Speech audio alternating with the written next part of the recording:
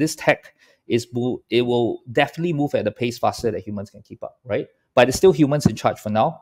What we have to do is to push out a framework that chips away at that centralization because this is way too dangerous. The speed of AI development, wherever it will lead, in a way, I don't think AI in the future will be necessarily hostile to humans. Okay, sorry to be like sci-fi or sensationalist, but the humans in charge of those AI or controlling the, the resources for building those uh, big AI now um, is too much power. And but it's pointless to whine about it. What is essential is to build tools that allow more people to build it. I don't want to live in a future that uh, all that power is in the hands of one or two companies. Could very well be one company, right? So what we can do, what I think drives our entire team is this is a revolution, man.